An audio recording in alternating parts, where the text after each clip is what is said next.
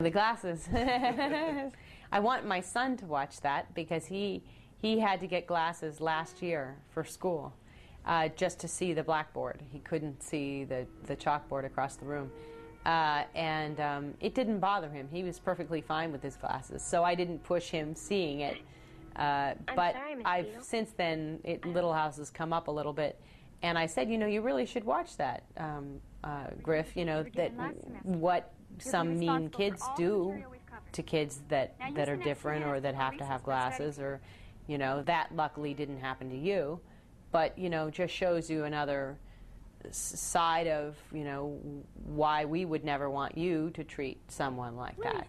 And um, yeah, I should watch that. so he he will soon, I think. My daughter's watched more than my son, and I think he would probably watch it more now.